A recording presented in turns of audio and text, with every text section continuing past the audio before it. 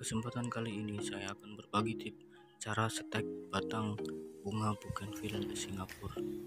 Untuk langkah yang pertama, sediakan setekan batang bougainville sepanjang satu jengkal. Lalu bersihkan atau rapikan bagian bawah bekas potongan yang tujuannya agar kambium pada batang bougainville bekas potongan tidak rusak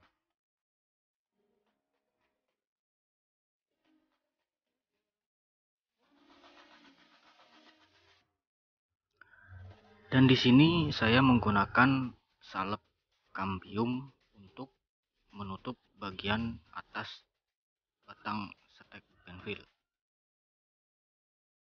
cukup oleskan tipis-tipis saja tidak usah terlalu tebal yang penting merata.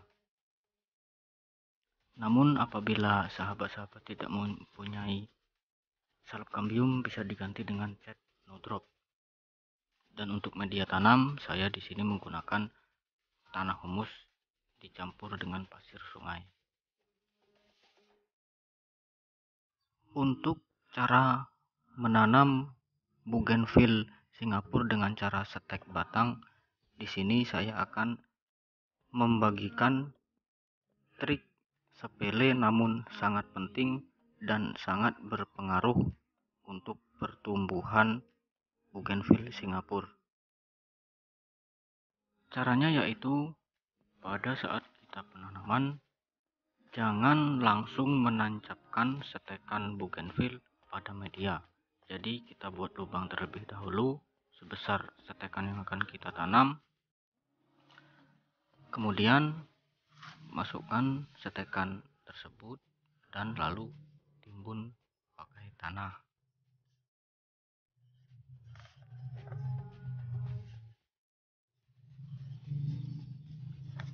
sini kenapa saya tidak menganjurkan untuk menancapkan langsung setekan pada media karena apabila kita menancapkan langsung setekan bougainville pada media, kambium yang akan ditumbuhi calon-calon akar sebelum hidup sudah rusak.